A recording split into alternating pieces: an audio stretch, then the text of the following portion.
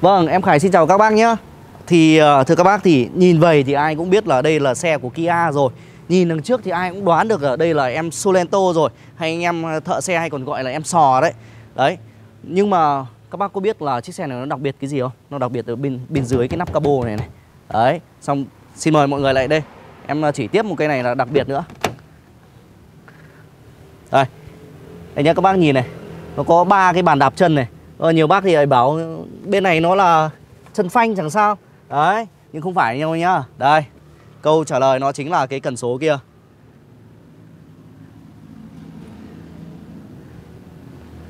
Rồi, ok các bác nhá. Đặc biệt của chiếc xe này đó chính là Solento, Máy dầu, số sàn. Được sản xuất năm 2014 Chiếc xe này đã lăn bánh được hơn 80.000 cây rồi. Biển Hà Nội tên tư nhân và điều đặc biệt, bên em đã kiểm định chất lượng của chiếc xe này, Nó còn đẹp keng luôn. 2014 bây giờ là hơn 8 năm sử dụng rồi, Nó còn ngon cực kỳ luôn nha các bác nhé. Bởi vì chiếc xe này là xe tên tư nhân, Xe không chạy dịch vụ đâu. Và bên em đang chào bán với mức giá chỉ có hơn 5 đồng một chút thôi.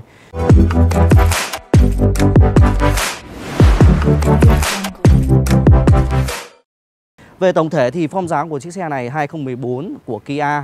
Đây là thế hệ mới nhé, Phiên bản Philip New Solento nên các bác nhìn đấy Nó còn rất là chất nhá. Và đây là một trong những chiếc xe mà cực kỳ là kinh tế.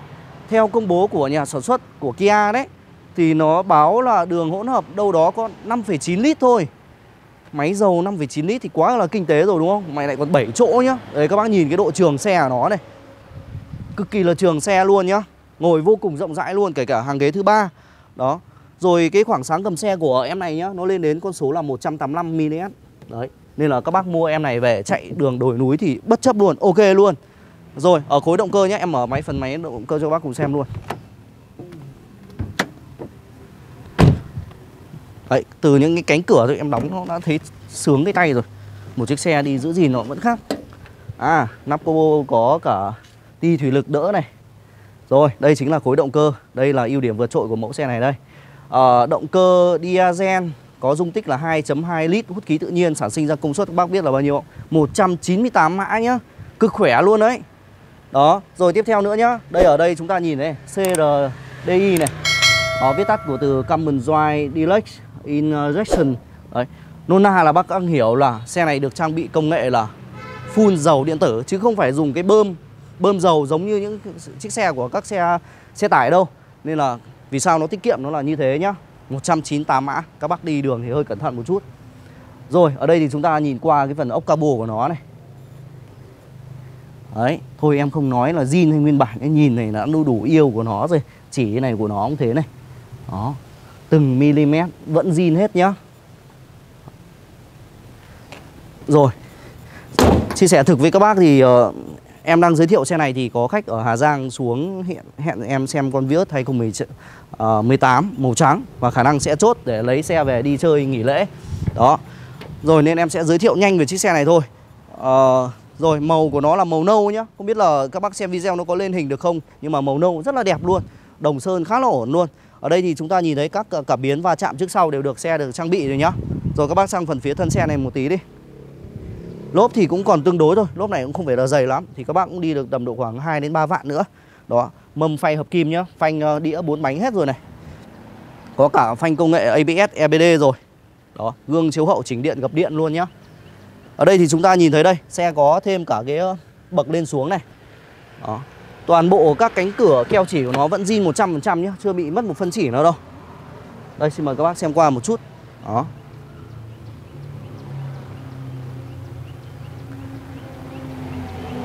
Ở đây thì chúng ta nhìn thấy đây Cái phần tắp ly cánh cửa lái này. Đó thì những cái phần nhựa như này nó hơi có hiện tượng sức xước một tí rồi nhưng mà bù lại thì những cái phím bấm ở đây các ký tự nó còn rất là rõ nét. Và hai kính trước đều là kính auto. Đó. tay nắm cửa cầm rất là chắc luôn. Em mở cánh cửa sau này. Đây là bộ ghế da nguyên bản của nó nhé ghế da nguyên bản. Solento.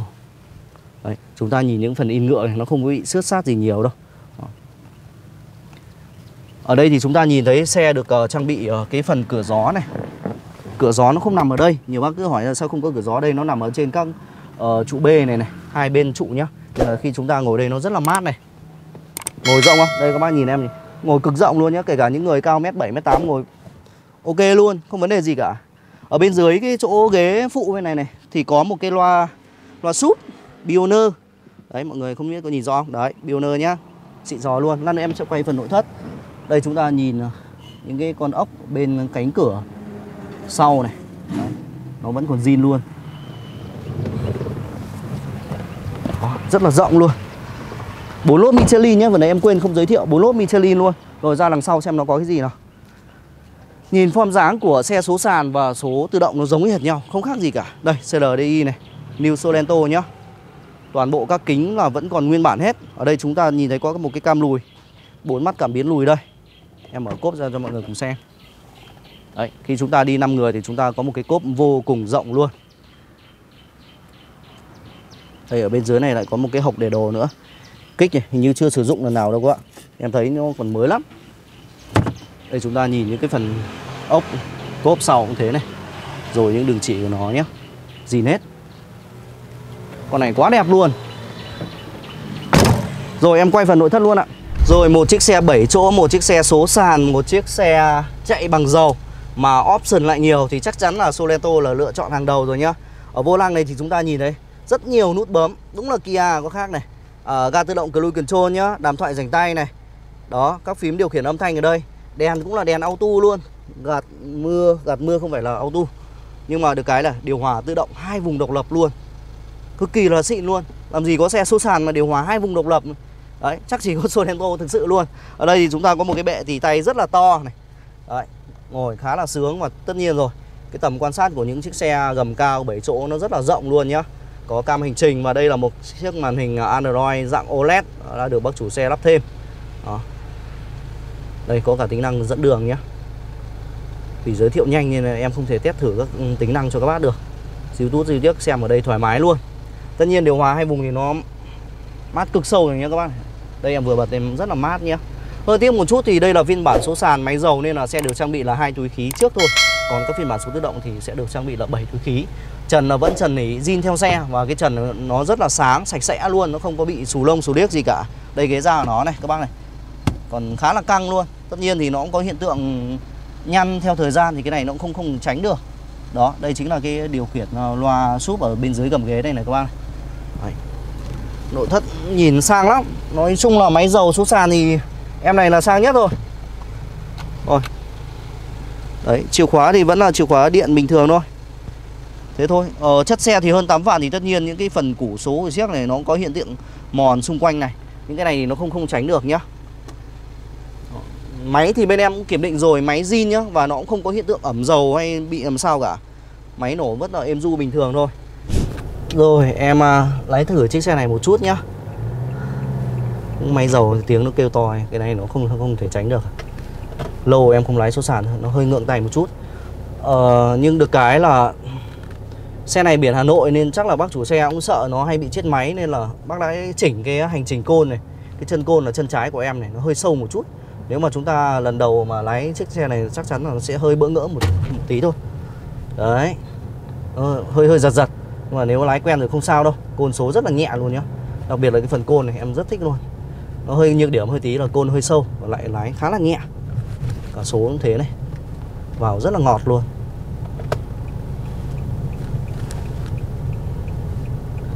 Thực ra cũng không ồn lắm đâu. Đi Solento máy dầu như này là em nghĩ là ok đấy.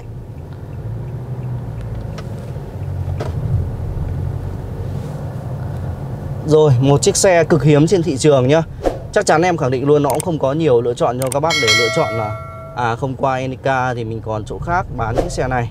Nó không nhiều lựa chọn. Solento 2.2 Số sàn, máy dầu Sản xuất 2014 Xe lăn bánh hơn 80.000 cây. Tên tư nhân biển Hà Nội. Bên em đang bán giá xung quanh khoảng 5 đồng. Bác nào mua về chạy đi gia đình hoặc chạy dịch vụ cũng đều ok hết. Một chiếc xe gầm cao 7 chỗ. Khá kinh tế. Rồi em Khải xin chào các bác nhé. Thì uh, sắp đến cũng ngày nghỉ lễ. Thay mặt toàn thể anh em công ty cổ phần Enica Việt Nam xin Đây, đang đi ờ, Rồi em uh, kính chúc quý khách hàng Một ngày, những ngày kỳ nghỉ lễ Thật là vui vẻ, hạnh phúc bên gia đình. Xin chào và hẹn gặp lại ạ.